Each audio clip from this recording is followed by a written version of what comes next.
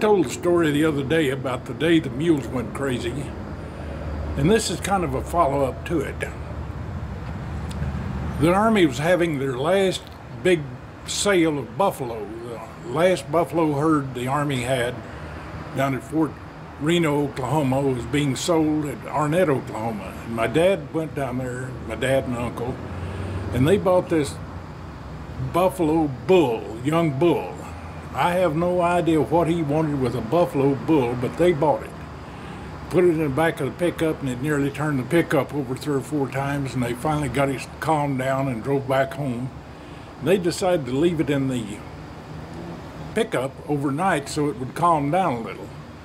Next morning, they came out there and they was standing there looking at him and snorting at him, and they opened the gate and let him down the chute into the corral, and he put his head down, ran through the chicken house, tore it up and threw the corral fence over there and headed for the house. My dad grabbed his 30-30 and shot it.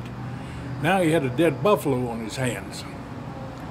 Well, in the meantime, they had a mobile meat market going. They had butcher uh, a yearling, and they had this old ice truck, and they'd put several blocks of ice in there. and It had a butcher block in it. And they'd go out to the small towns around there in the oil camps and carbon camps where they didn't have a grocery store or any fresh meat and they would sell meat door to door. Well, by the time the day was over, they had sold a yearling for twice what they could have gotten for it on the hoof. And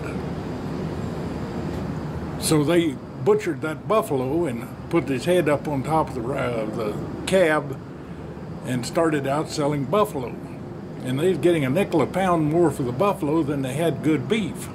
Pretty soon they ran out of buffalo. So they thought it over and talked it over and went out and shot one of those mules, dragged it in, dressed it out, and they sold it out as buffalo. And two days later, they shot the other one and sold it for buffalo. And they must have sold 2,000 pounds of buffalo meat off that one buffalo.